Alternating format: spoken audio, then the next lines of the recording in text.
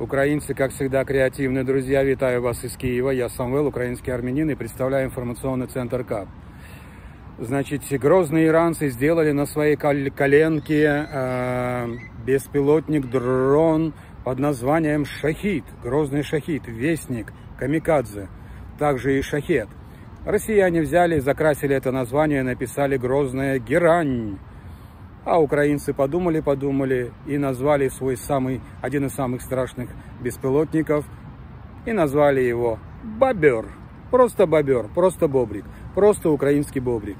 Украинский народ не только первый в военных вопросах и имеет самую, одну из самых мощных армий, но и на первом месте по креативу. Люблю вас. Друзья, витаю вас.